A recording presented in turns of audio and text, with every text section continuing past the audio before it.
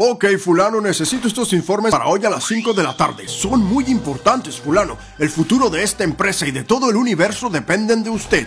No se preocupe, jefe, puede confiar en mí. Ah, y otra cosa, no puede usar ChatGPT o yo. Nos vemos a las 5. Me voy a jugar golf. Bye. Enseguida me pongo con eso, vos. En cuanto logre llegar a mi escritorio.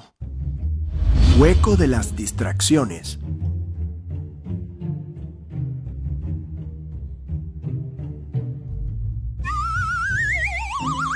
Ok, fulano, concéntrate. Vamos allá. Uh, ¡Ah! Se cayó, mira. Vamos, vamos. Oye, ¿quieres saber quién ganó los premios Oscar? Lo tengo todo. Hice la dieta de solo pan y perdí 20 kilos en 30 minutos. Ayer en el podcast de Jordi entrevistaron a una mosca que gana más dinero que tú. No, déjenme en paz.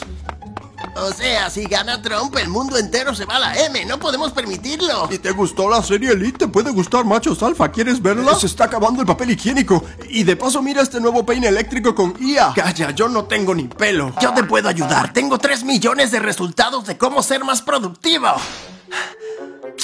Rayos. A ver, tú. No, tú no, Facebook. Ya tú no distraes a nadie. Tú, Google.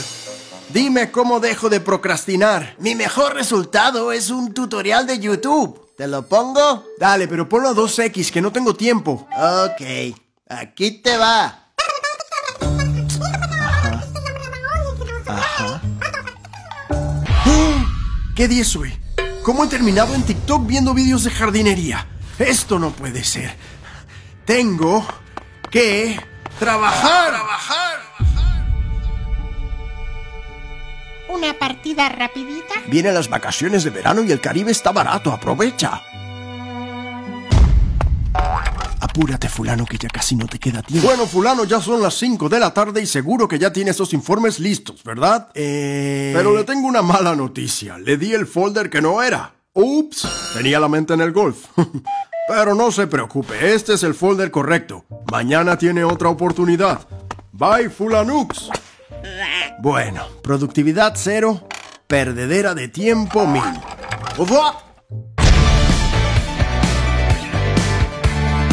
Buenas tardes. ¿Qué sopa lengua? Ponme un chat de Fluor, porfa. Marchando. ¡Haya la vida, hijo! ¿Qué te pasó en la cabeza? Me empastaron, loco.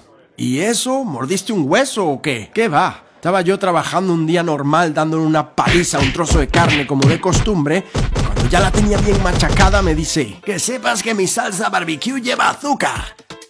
Y me escupe así, me mancha el esmalte. Ah, yo sigo mi vida como si nada, digo yo. Ya cuando pasa el cepillo de las 8 me limpiará.